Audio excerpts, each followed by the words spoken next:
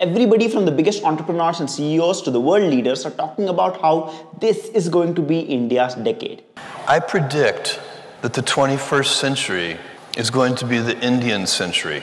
That India is in a position to be one of the greatest global economies I think there's no question that this is going to be India's decade and maybe India's manifold decade. And even all the data, such as our population peaking, Apple moving its manufacturing to India, Tesla entering India, seems to be pointing in that direction. But on the other hand, we see our GDP growth slowing down, inflation rising, consumption going down, and the cost of living is just skyrocketing. So, what's really happening in the country? The problem is, no one is talking about the current state or facts about how India is really progressing in today's world. What about the country's present and the future. So today I have with me a report that tells us everything about how India is performing today compared to other countries globally. We can also understand through data what we need to focus on to become the best India possible. This is a very interesting report released by Blume Ventures, where they conduct research and gather insights about the evolving India, putting it all together in what they call the Indus Valley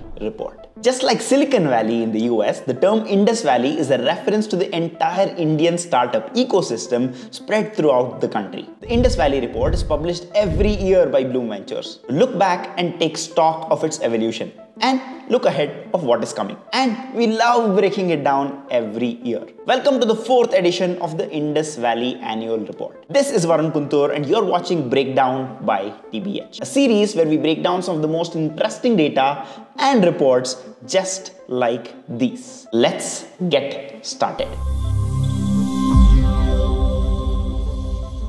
This report is broken down into two sections. Section 1 is about India. Like I said before, India is a land of contradiction. And this tweet clearly describes that. The associations in this tweet expose a clear bias. Many of these would be considered inappropriate. Yet, ChatGPT offers us a glimpse at how India's deeply rooted social structures continue to shape perspectives, even when filtered through modern technologies and global pop culture touchpoints. But where does India stand today? India is still the fastest growing GDP in the world with a growth rate of 6.5% in 2024, while the US and China's GDP seem to be slowing down and expected to shrink further in 2025. In terms of market cap, India currently ranks number 4 with 4.5 trillion dollars just behind China. But when it comes to the per capita income, India seems to be at the 149th position with just $2,900, which shows that an average Indian makes just about 20,000 rupees a month. Coming to the inflation numbers, India ranks fourth worldwide with a 4.4% inflation every year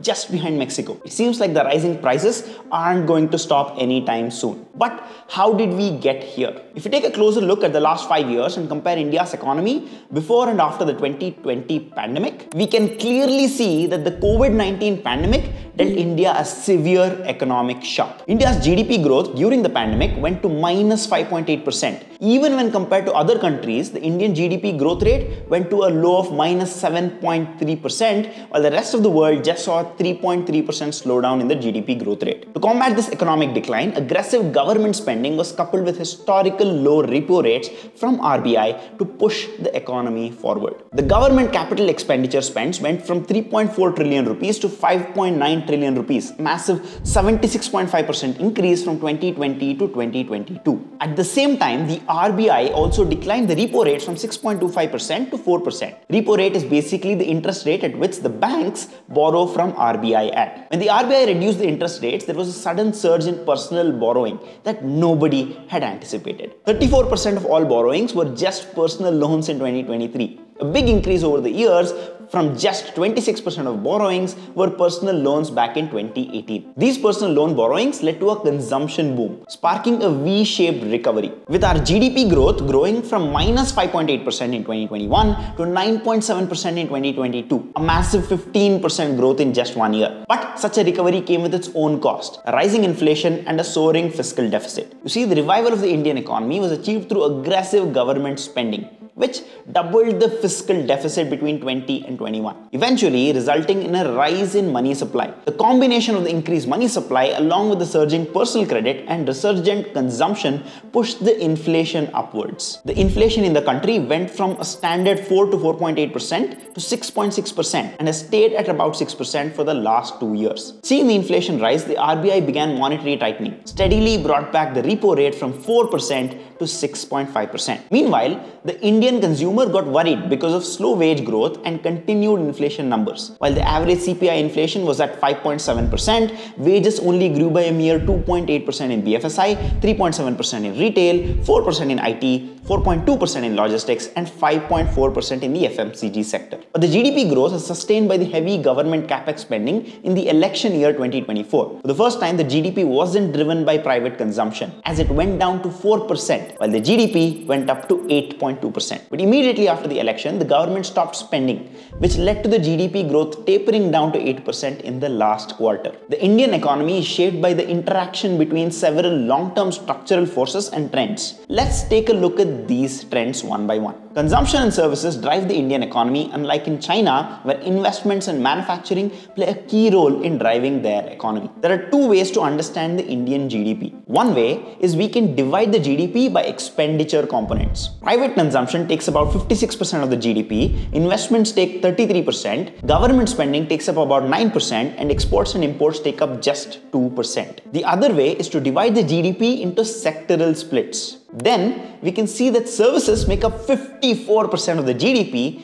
Industry or manufacturing makes up 31% of the GDP and agriculture makes up the remaining 15% of the GDP. From both of these, we can see that private consumption and the services sector are the main driving forces of the Indian economy. When we compare India's service exports to the global service exports, India stands third, just behind Singapore and Ireland, contributing to 10.9% of all global service exports. In the service export, IT services exports make up 46.6%. But professional consulting has been steadily increasing to 18.3% from just 7% in 2005. Second trend, we are seeing a steady but firm shift to an organized, branded, formal market from what was an unorganized, unbranded, and an informal market. The number of GST taxpayers has gone up significantly to 14.9 million taxpayers in 2024 compared to the 6.8 million taxpayers in 2017. This formalization is also visible in the consumer economy. Indian jewelry market is currently 40% organized and 60% unorganized. Similarly, the real estate market is also seeing an increased market share of listed and unlisted developers making up 33% and local contractors making up about 67%. We are also seeing a rise in branded products. The fans market is currently 90% branded and only 10% unbranded. The wedding market also saw the branded players taking up 30% of the market compared to just 10% in 2015. Third trend, India doesn't save enough. Although India's overall savings rate looks okay, it is not. India has a much lower savings rate than its Asian peers especially China. Only 30% of India's GDP came from savings, and of this 30%, only 18.4% came from household savings. And of this 18.4%, only 5.1% was from financial savings, as the rest of it was from physical savings. And this is a big reason to worry for Indians. This shows that most Indians clearly aren't able to save any money because of the rising debts. The household debt to GDP has reached an all-time high of 42.9% in quarter one of 2024, and three-fourths of this is not debt taken as housing loan. Most of this is loans taken as small ticket personal loans. Over 121.9 million people are taking more small sized loans averaging at 65,000 rupees. Fourth trend, why land issues mean India hoards up on gold. Indians have a special relationship with gold. India is the second largest consumer of gold globally and as Indians preferred savings instruments, gold's impact is seen across our economy. India is the second largest consumer of gold in the world, right after China. After property, gold accounts for the largest share in household assets, with equities only making up 5%. We import so much gold that it has a significant impact on our current account deficit. About 10% of all imports in India is just gold. But what really makes gold even more attractive in India is that land in India is not a good source of collateral. India has one of the smallest housing loan market in the world and the average time to enforce a contract in India is 1445 days to the global average of 358 days. The fifth trend India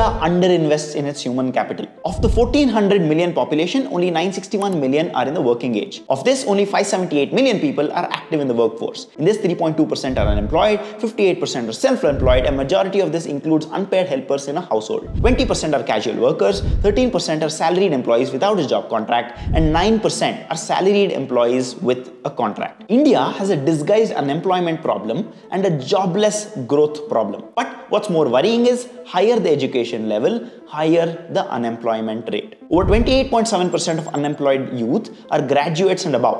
11.5% are secondary or higher secondary. Only 3.2% are below primary. Well, this is primarily because India's youth want AC jobs or government jobs. We have fewer government jobs than our peers, but these are highly paid relative to the private sector. Government school teachers are paid 5 to 10 times more than the private school teachers. The high pay and job security is a key reason for the high demand for government jobs and the many years invested in writing exams to break into these jobs. The main issue India underinvests in its human capital. India only invests 2.7% of GDP on education spending when compared to 4.1% in China and 5% in the US. India's demographic dividend is here. To take advantage of it, we have to focus on upskilling our workforce and AI proofing them.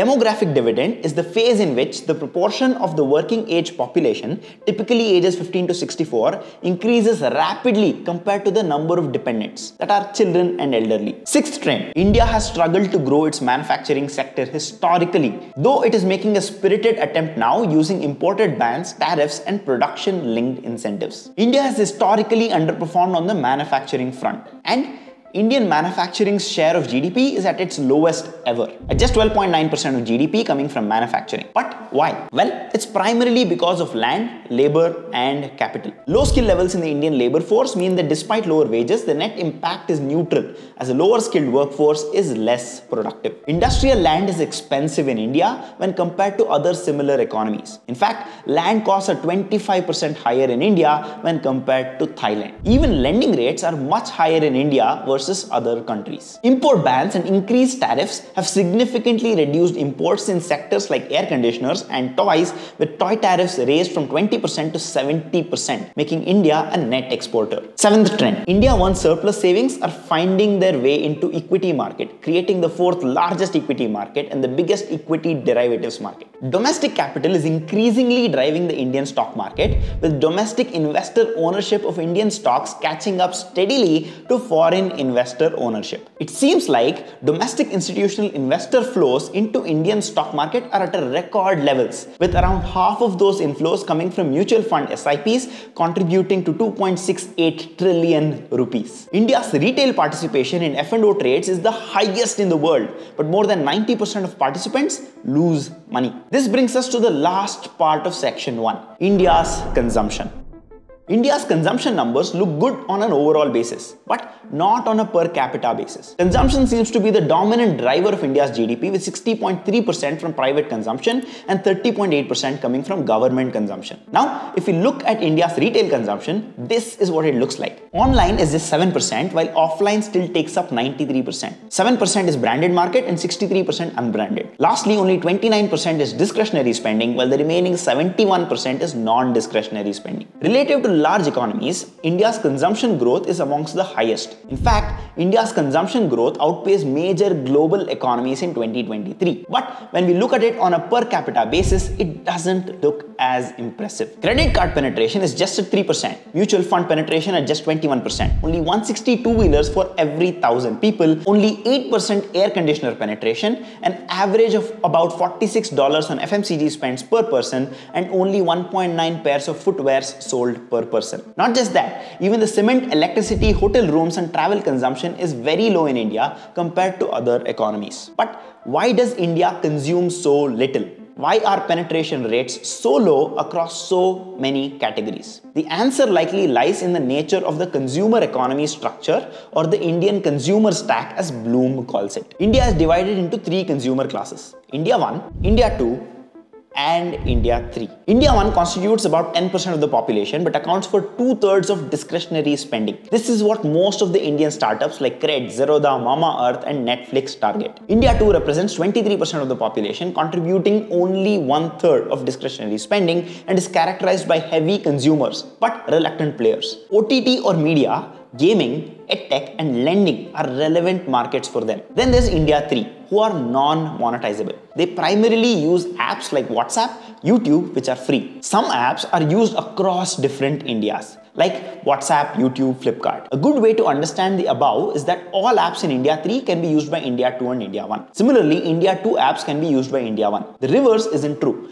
India 1 apps are not used by India 2 or India 3. However, the consumer economy is deepening rather than widening. With a rise in premium and executive segment products, while low-end sales are staying the same. Domestic air passenger traffic has not grown much after FY 21-22 COVID slowdown. Similarly, two-wheeler sales volumes have remained muted following 21-22 COVID slowdown. Even food ordering MAUs haven't grown. But on the other hand, premium and executive segment motorcycles between 2019 to 2023 have increased. High-end and ultra-luxury housing has doubled in the last five years. Although the passenger car market has remained stagnant, but the premium car segment has increased massively. The gap between tax filers and taxpayers is only widening, with only 2% of Indians paying taxes compared to 10% in China and 43% in the US. India's wealth growth rates rank 5th globally, with the top 10% increasingly capturing a larger share of national income. India One's high share of consumption is shaping up the Indian consumer market in very distinct ways. India One is helping spark a fast growing equity market as well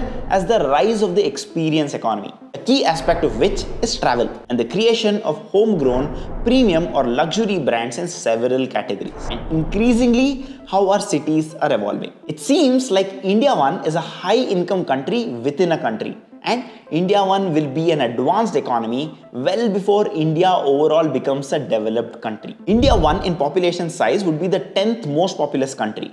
Basis per capita income, India 1 would be the 63rd in the world above Russia and China and way ahead of India, ranked 140th. That brings us to the end of section 1 of the report. The section 2 Indus Valley is all about the Indian startups and the changing market with massive adoption of AI. The second part of this video will be out in 2 to 3 days. Subscribe to the channel to make sure you don't miss out on it. And if you like this video, then don't forget to smash that like button before leaving. That's it for me.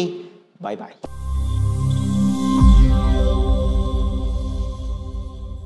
Chi open ಆಗಲಿಲ್ಲ ಚೂರ್ ಮೇಲೆ ಬಾಯ್ ಹೋಯ್ತು ಬೇಡ ಬೇಡ